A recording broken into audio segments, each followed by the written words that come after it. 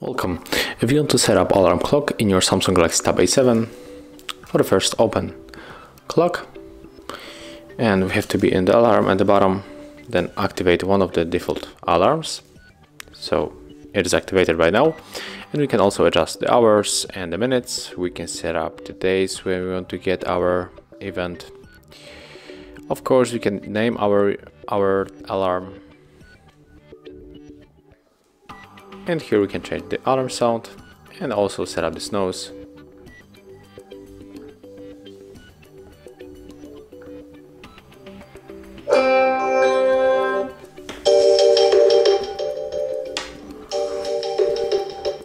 and after that we can just go back.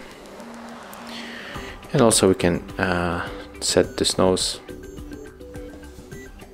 so that's how we can turn it on and adjust. Thank you guys for watching. Leave thumbs ups comments and subscribe to our channel.